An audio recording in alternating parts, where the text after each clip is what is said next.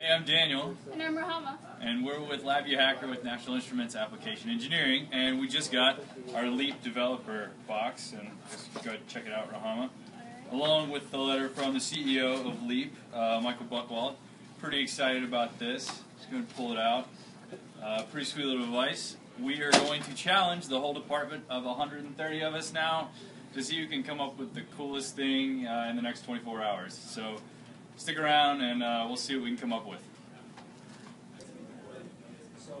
All right, we're back. It hasn't quite been 24 hours, but uh, I'm here with Milan of the CPIGs Twitter team. Got Rahama on the camera now, but Milan has already picked up the SDK and done some cool stuff with it in LabVIEW. Show us what you got, Milan. Yeah.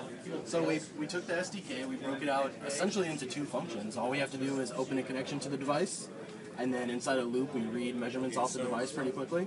And uh, yeah. Yeah, and that's the Leap SDK over here. Yeah, yeah. So this is the Leap SDK. So the SDK includes this visualizer, which lets you track the motion of your fingers.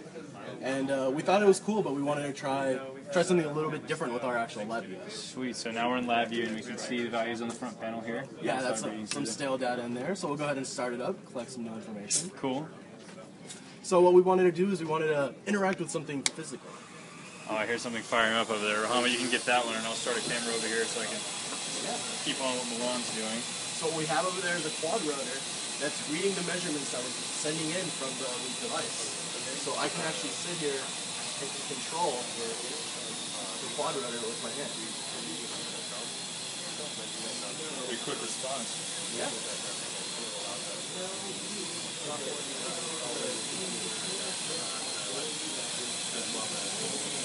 Awesome. Milan, well done.